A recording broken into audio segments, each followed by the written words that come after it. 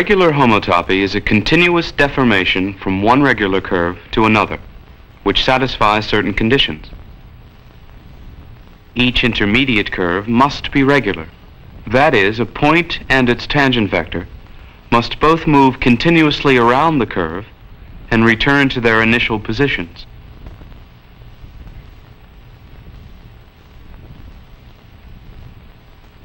Also, if we choose a particular point on the initial curve and follow it as the curve deforms, both the point and its tangent vector change continuously.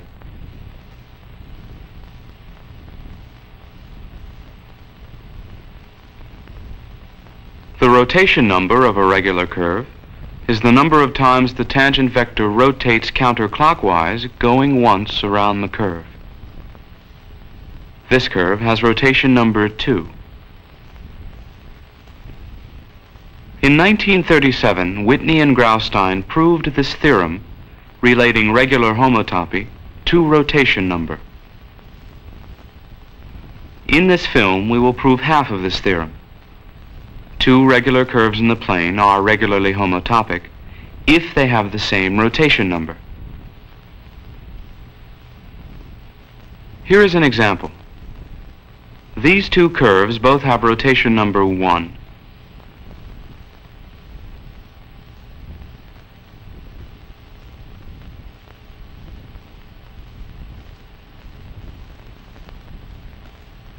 Here is a regular homotopy between them.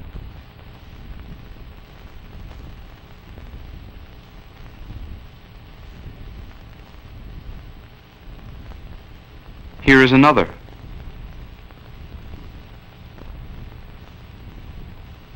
For this simple case, you might have found a regular homotopy by trial and error. But with two more complicated curves, this might be more difficult. In this film, we will give a proof by a general construction, which will work for any two curves with the same rotation number.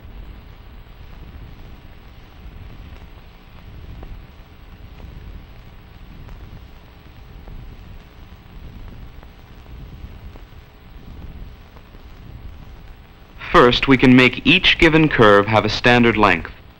It's not very difficult to verify that shrinking a curve is a deformation which satisfies the conditions for a regular homotopy. The same is true for magnifying.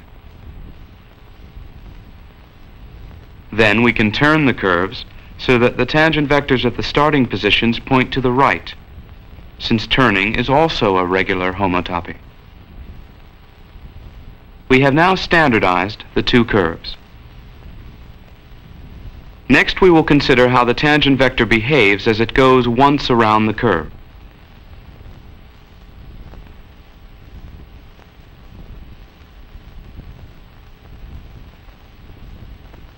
We can record its rotations on a tangent graph. The horizontal coordinate is distance along the curve, and the vertical coordinate is the amount of rotation of the tangent vector. When the tangent vector starts, we set the rotation to zero. When the tangent vector is pointing up, the tangent graph has reached a height of one quarter.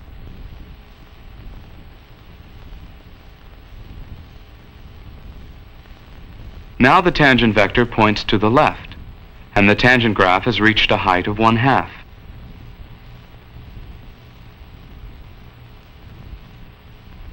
Down corresponds to three quarters.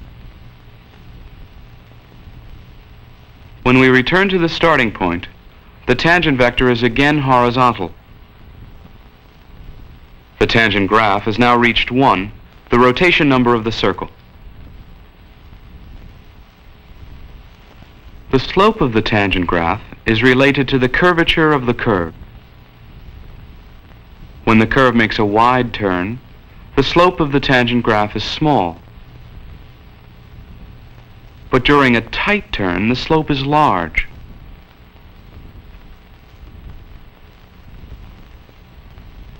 Here the final value is 2, because the tangent vector has made two full rotations.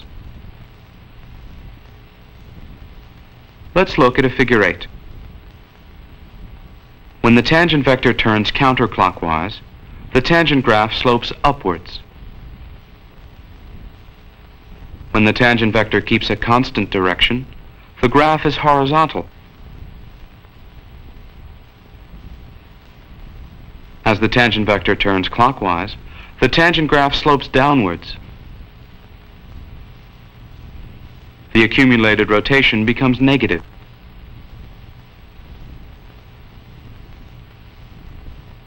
Then it comes back to zero. Here's a final example. When the curve suddenly changes from a clockwise turn to a counterclockwise turn, the slope of the tangent graph suddenly changes, giving a corner in the graph. This does not violate our conditions for a regular curve, though, because the curve itself has no corners.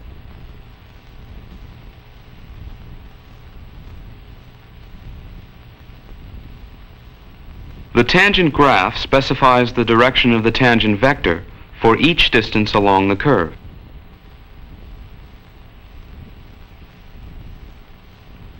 If a point goes at constant speed and keeps moving in the direction of the changing tangent vector, it will reconstruct the curve.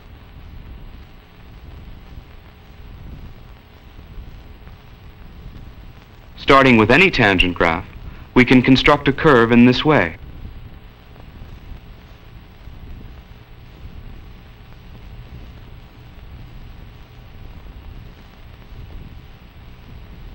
A jump in the graph would cause the tangent vector to change direction suddenly and make a corner in the curve. But if the tangent graph is continuous, the resulting curve will be smooth without corners.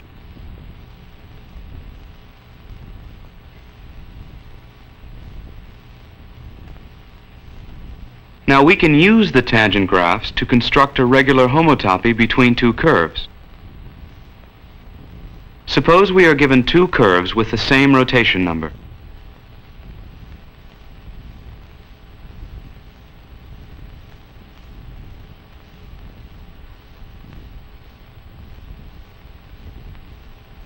Since we need a series of intermediate curves, we will use intermediate tangent graphs.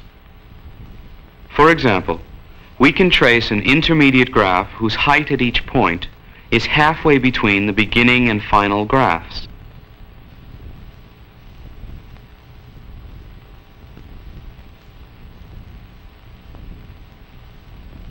This new graph corresponds to a regular curve, which we can take as the one halfway between the two given curves.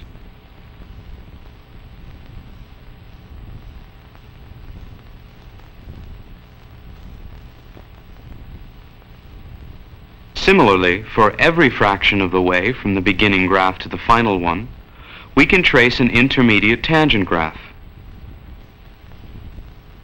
Since the two given graphs are continuous, each intermediate graph will be also. So each corresponds to a regular curve.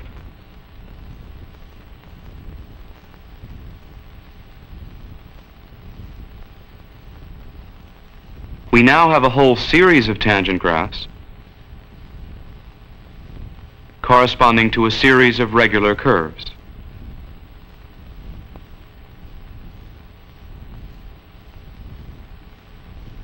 The value of the rotation for a fixed horizontal coordinate moves continuously up or down as the graphs change.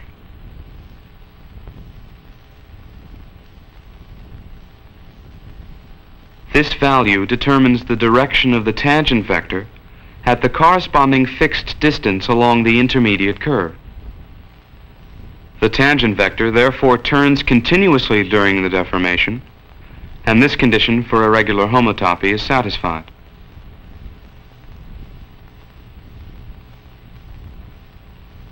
We have used intermediate tangent graphs to construct intermediate curves. Now suppose we started with these two regular curves. The first has this tangent graph.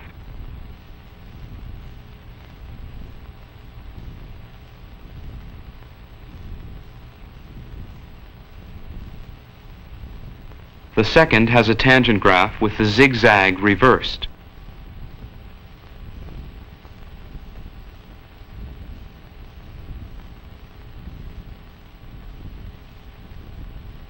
The tangent graph halfway between them has a horizontal segment.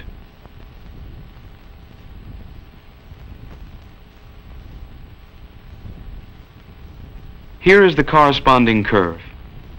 Remember that when the tangent graph is horizontal, the tangent vector has a constant direction.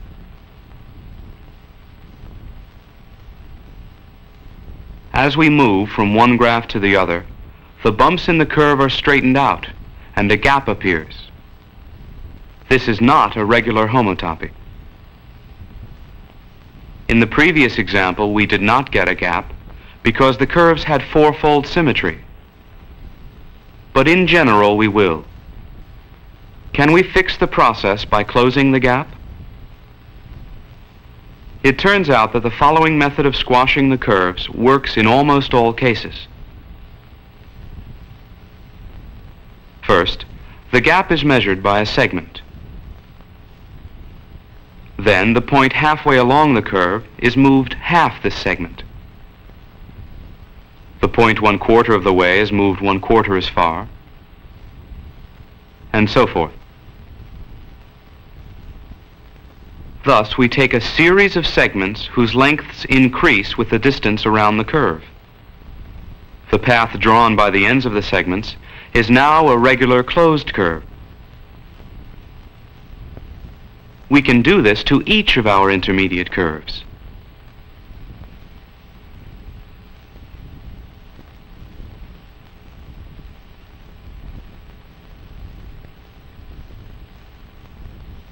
If the two given curves have the same rotation number, their tangent graphs end at the same integer. So every intermediate graph ends at an integer. Therefore, every intermediate unclosed curve will have a horizontal tangent both at its beginning point and its end point. During the squashing process, these two tangent vectors need not remain horizontal, but you can see that the squash affects them equally. So the squashed curves are regular. Let's summarize the modified construction of this regular homotopy. Given two curves with the same rotation number, we first make them the same length and turn them so their initial tangent vectors are horizontal.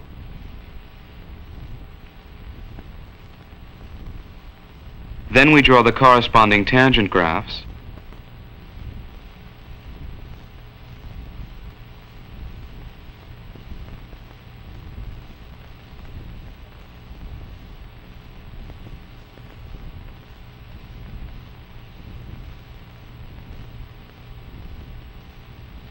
and the intermediate graphs between them. Each intermediate graph corresponds to a curve which might not be closed. We squash each of these intermediate curves to make a regular closed curve. Since the non-closed curves and the gaps determining the squash both change continuously during the deformation, the whole process will be continuous and is therefore a regular homotopy. The first and last tangent graphs will reconstruct our two given curves, which don't need squashing. Thus, we have constructed a regular homotopy between two given curves.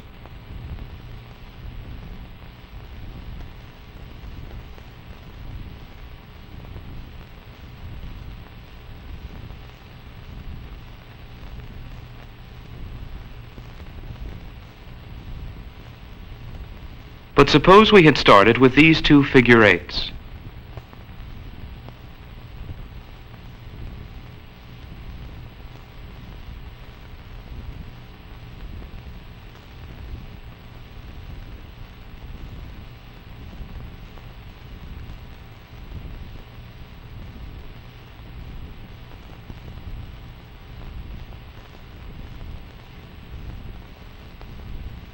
Here are the intermediate graphs.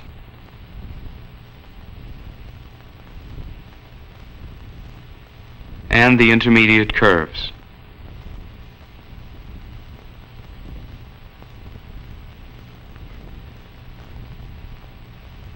Here are the squashed curves.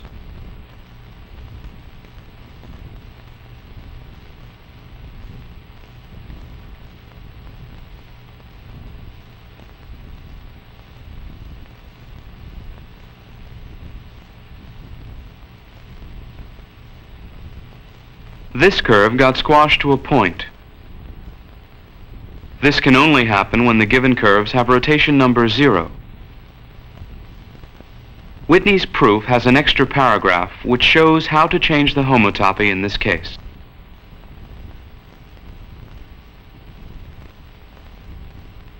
Here are the intermediate curves.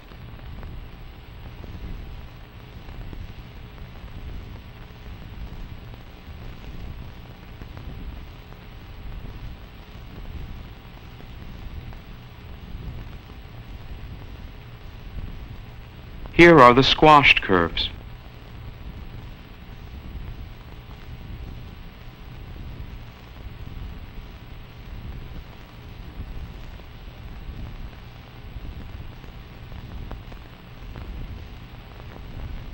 Apart from this exceptional case, we have proved the if half of the Whitney-Graustein theorem.